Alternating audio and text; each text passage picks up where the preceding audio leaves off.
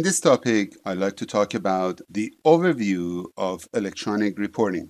First, let's navigate to the electronic reporting workspace. I can expand the workspaces and scroll down and click on the electronic reporting workspace. Instead, I make it a favorite so I can view it from favorite menu for future use. Or I can view it from the dashboard. From either nodes, if I click on it, I get directed to electronic reporting workspace, which is titled as localization configuration.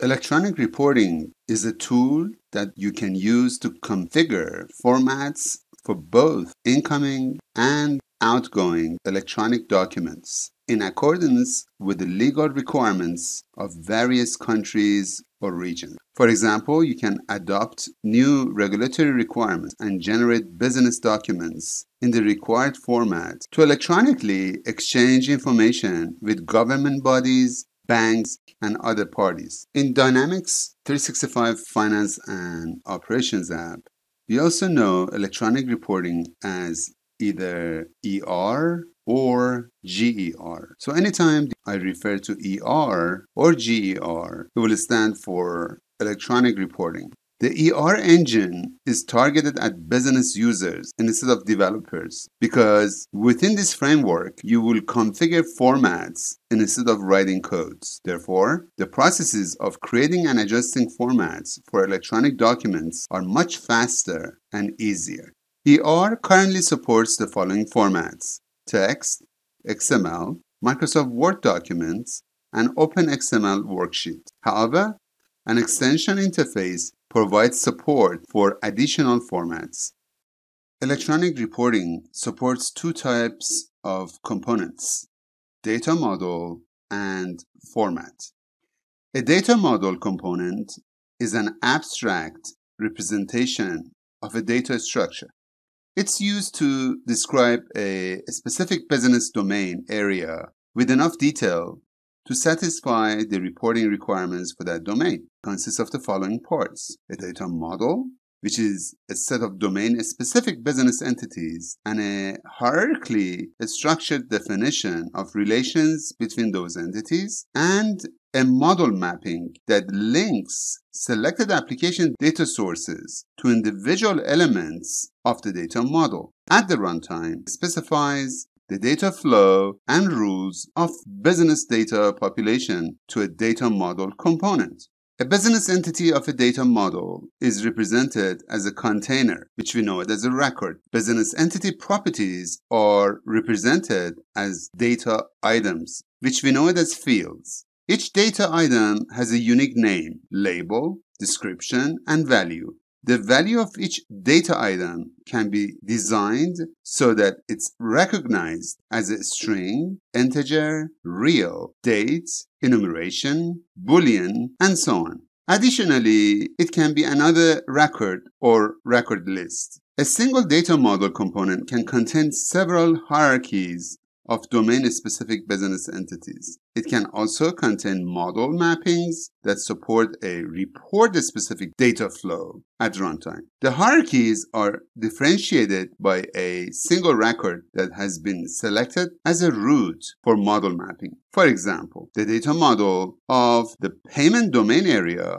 might support both a payment for accounts receivable and accounts payable. Note that the business entities such as company and payment transactions are designed one time. Therefore, different mappings then reuse them. A model mapping that supports outgoing electronic documents has the following capabilities. It can use different types as data sources for a data model. For example, it can use tables, data entities, methods, or even enumerations. It also supports user input parameters that can be defined as data sources for a data model when some data must be specified at runtime. Surely it supports the transformation of data as well into required groups. It also lets you filter, sort, and sum data and append logical calculated fields that are designed through formulas that resembles Microsoft Excel formulas.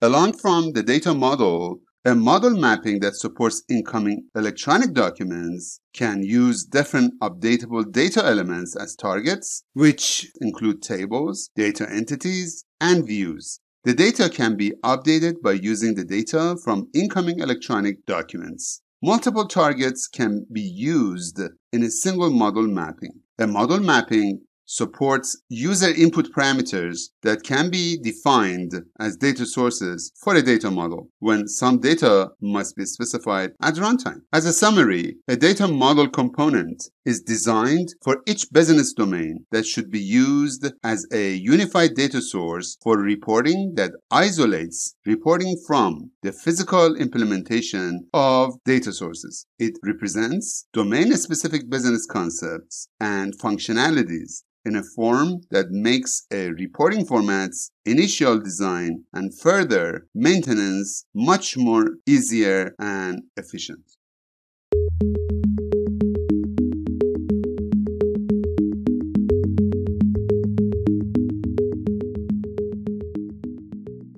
Let's see how electronic reporting deals with format components for outgoing electronic documents.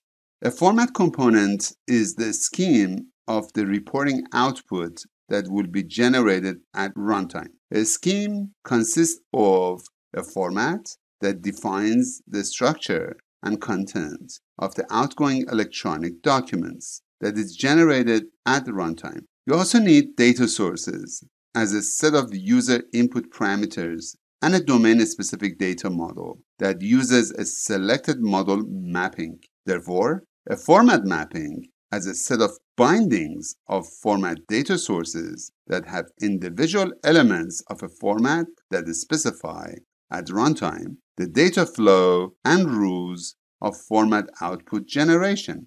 A format validation has a set of configurable rules that control report generation at the runtime depending on the running context. For example, there might be a rule that stops output generation of a vendor's payments and throw an exception when specific attributes of the selected vendor are missing. For example, the vendor is missing the bank account number. A format component supports the following functions.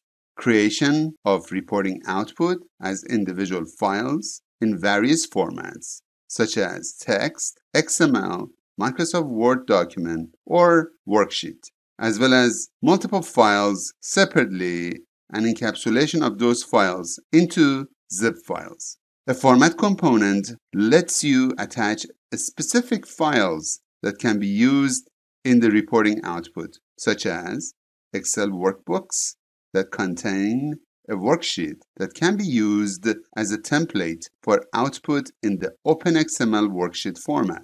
The Word files that contain a document that can be used as a template for output in the Microsoft Word document format, and other files that can be incorporated into formats output as predefined files.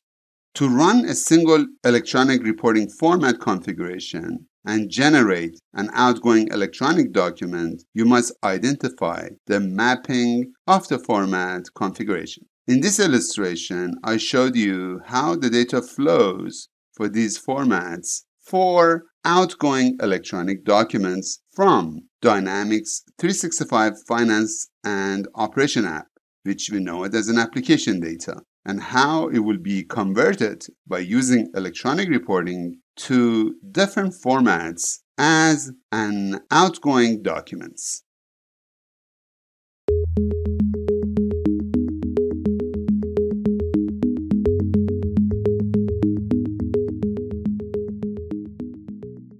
In the electronic reporting, a format component is the scheme of incoming document that is imported at runtime. A scheme consists of a format that defines the structure and content of the incoming electronic document that contains data that is imported at runtime. A format component is used to parse an incoming document in various formats such as text and XML. A format mapping that binds individual format elements to elements of a domain-specific data model is another part of the scheme. At runtime, the elements in the data model specify the data flow and the rules for importing data from an incoming document and then store the data in a data model. Another part of the scheme is a format validation as a set of configurable rules that control data import at runtime, depending on the running context. For example, there might be a rule that stops data import of a bank statement that has a vendor's payments and throw an exception when a specific vendor attributes are missing. For example, the vendor identification code. To run a single electronic reporting format configuration to import data from an incoming electronic documents into Dynamics 365 Finance and App, you must identify the desired mapping of a format configuration and also the integration point of a model mapping. You can use the same model mapping and destinations together with different formats for different types of incoming documents. In this illustration, I showed you how the incoming documents can flow into the application data, which in our case would be finance and operation apps.